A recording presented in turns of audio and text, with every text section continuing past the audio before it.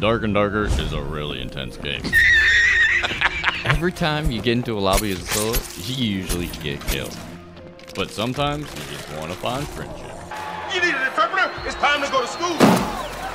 In today's video, we're in search of the ultimate best friend. Yes! Yes! So I was just wandering around the dungeon aimlessly, minding my own business. And I thought I heard something. I knew I might have to stand my ground. He appeared to be friendly. I knew I had to keep my senses sharp, for who could trust naked man? I thought, what better way to solidify our friendship than offering some loot?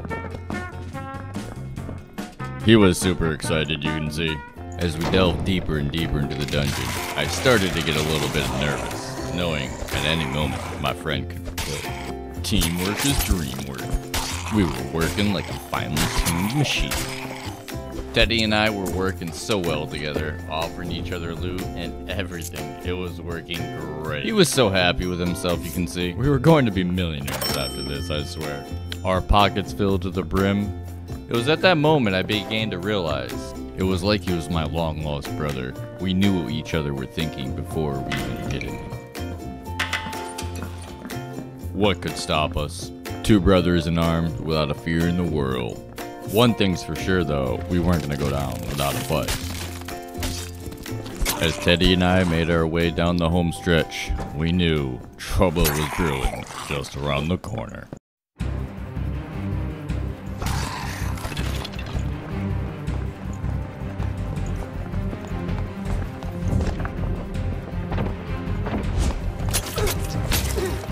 Oh no, there's two squads there, dude.